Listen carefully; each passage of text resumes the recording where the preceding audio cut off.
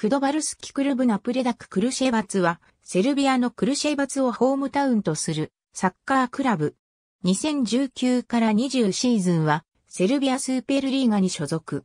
1946年12月8日、地元の3つのクラブが合併して、FK ナプレダククルシェバツが創設された。翌年1月に、クラブ初の公式戦が実施され、FK マケドニアジョルジェ・ペトロフと1から1で引き分けた。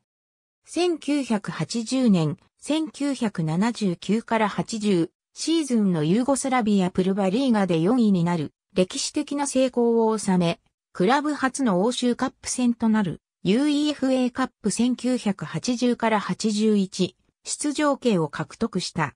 2000年、1999から2000シーズンの FR ユーゴスラビアカップで準優勝を果たした。